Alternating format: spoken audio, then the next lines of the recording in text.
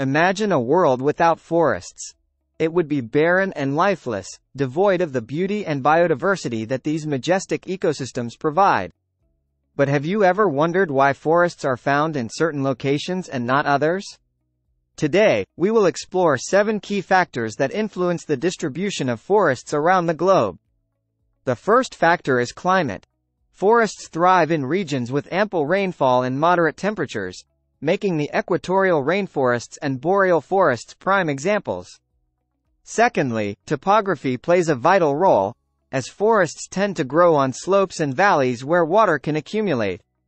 Soil fertility is another important factor, with nutrient-rich soils providing the necessary support for the growth of diverse tree species.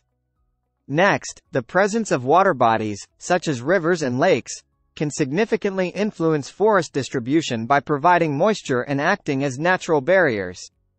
Human activities also have a significant impact on forest distribution, as areas with deforestation, urbanization, and agricultural practices have fewer forests.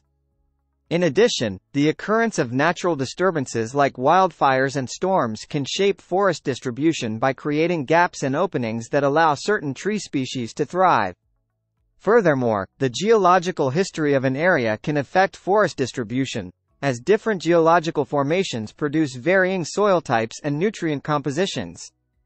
Lastly, the interaction between different plant and animal species can influence forest distribution by promoting or inhibiting the growth of certain tree species. By understanding these seven factors, we can better comprehend why forests exist where they do and how crucial they are for our planet's health and well-being.